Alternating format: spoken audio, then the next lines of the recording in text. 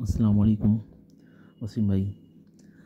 मैंने वसीम भाई से कुछ ऑयल लिया था और मैं तो काफ़ी कुछ सालों से मैं इनसे ऑयल लेता रह, रहता हूँ और इनकी ऑयल जो है मुझे बहुत पसंद है।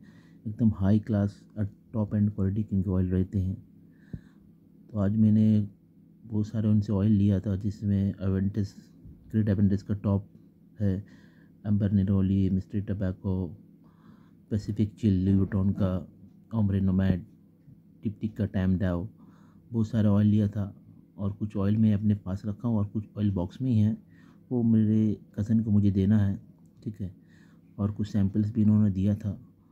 तो कुछ सैम्पल्स में तो टॉमफोर्ड का पचोली एब्सोल्यूट मुझे बहुत पसंद आया इनका।